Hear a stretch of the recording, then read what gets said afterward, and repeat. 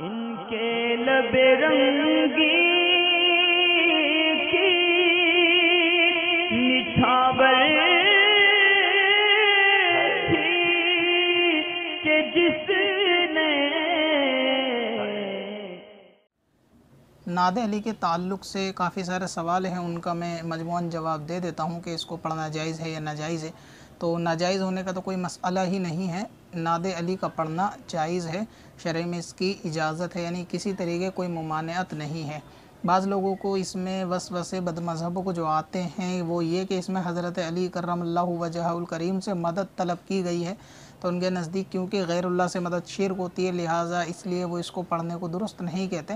مگر ایسا نہیں ہے۔ ناد علی، یہ جواہر خمسہ ایک وظائف کی کتاب ہے، اس کے اندر بھی اس کو پڑھنے کی اجازت دی گئی ہے اور کافی سارے مشائق اکرام، اولیاء اللہ میں اس کو پڑھنے کا معمول تھا۔ یعنی وہ اپنے وظیفوں میں اس کو شامل انہوں نے کر رکھا تھا اور وہ اس کو پڑھتے تھے۔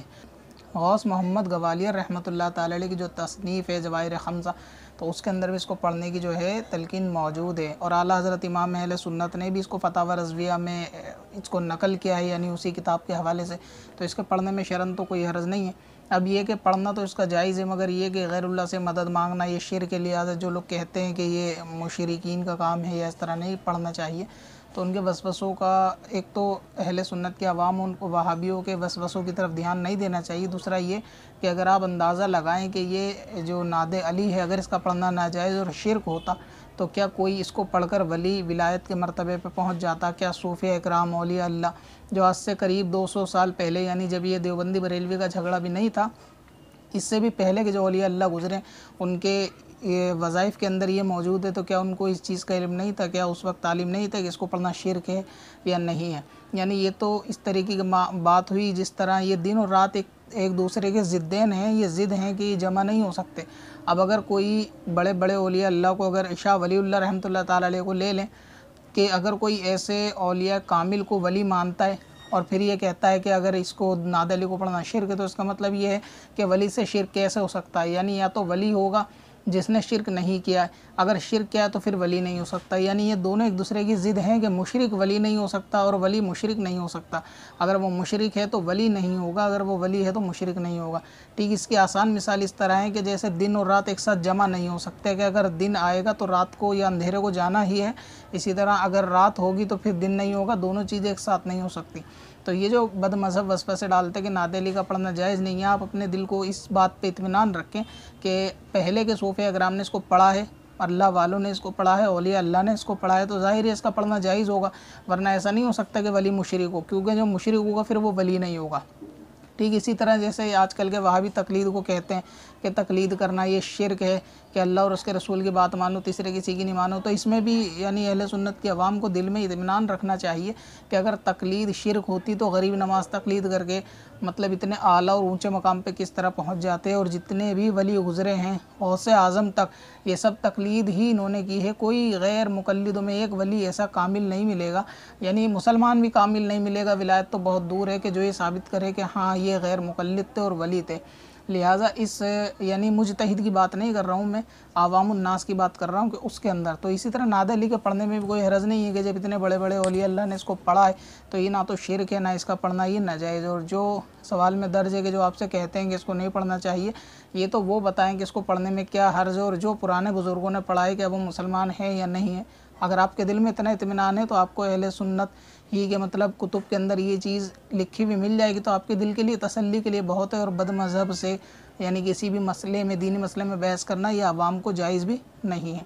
اب یہ کہ اس کے ناد علی کے الفاظ وغیرہ کے تعلق سے تھوڑا سا مطلب مس انڈرسٹینڈنگ ہے۔ اس میں جو الفاظ آپ انٹرنیٹ سے اگر ناد علی کو ڈاؤن لوڈ کریں گے تو اس میں کچھ الفاظ زائد ہیں۔